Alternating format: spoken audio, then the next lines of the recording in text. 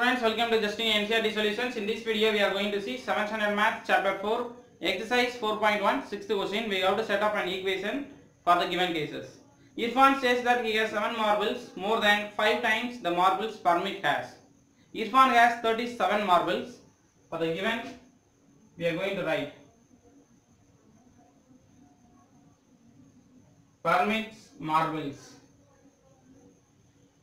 equal to m marbles. Now, Irfan's marble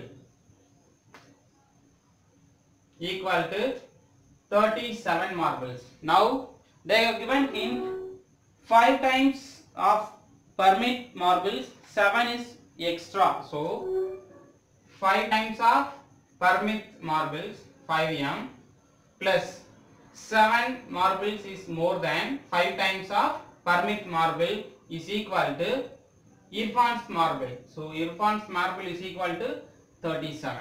So the required equation is equal to 5m plus 7 is equal to 37. Again I am saying that 7 marbles more than 5 times of permit marble. So for permit marble is equal to m 5 times of permit marble plus 7 is equal to Irfan's marble. Irfan's marble is equal to 37. This is first. Now, second question. Lakshmi's father is 49 years old. They can write it. Father's age equal to 49 years. And then he is 4 years older than 3 times Lakshmi's age. We have taken Lakshmi's age. Lakshmi's age is equal to y years. Then hint. He is 4 years older than 3 times Lakshmi's age. So 3 times of Lakshmi's age 3y plus 4 is equal to father's age father's age is equal to 49. I, again I am repeating Lakshmi's age, age equal to y years and father's age is 49. Now we have taken 3 times of Lakshmi's age plus 4 is equal to father's age that is 49. So this is the required equation.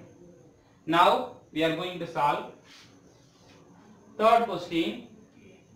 The given answers, given hint, the teacher tells the class that the highest mark obtained by student in her class is twice the lowest mark plus 7. The highest score is 87.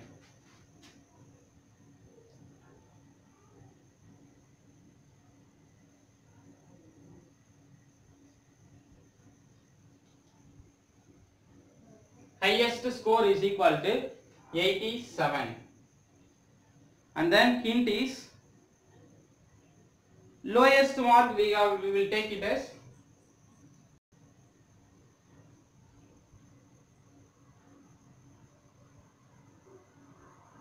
lowest score is equal to L. Now the hint is twice the lowest mark plus 7. So twice the lowest mark 2 into L plus 7 is equal to the highest score is 87. So the lowest mark 2 times of lowest mark plus 7 is equal to highest mark. Then fourth question. Now we are going to solve fourth question. Here they have given that in isosceles triangle these two sides are equal and base angle will be equal. Here they have given base is equal to B. And another one hint is this vertex angle is 2 times of the base angles. So 2B. Now we are going to find sum of that angle is equal to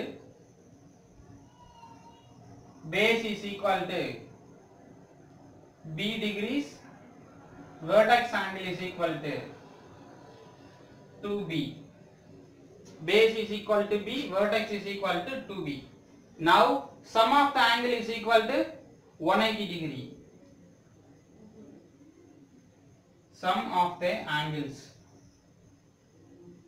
Sum of the angles in a triangle is equal to 180 degree. Now we are going to add all the angles. Base is b plus b plus vertex angle. 2b is equal to 180 degree. So b plus b plus 2b equal to 4b is equal to 180 degree. So this is the required equation. That's all students. Kindly give your suggestions in the comments box. Share this video to your friends and subscribe our channel. Thank you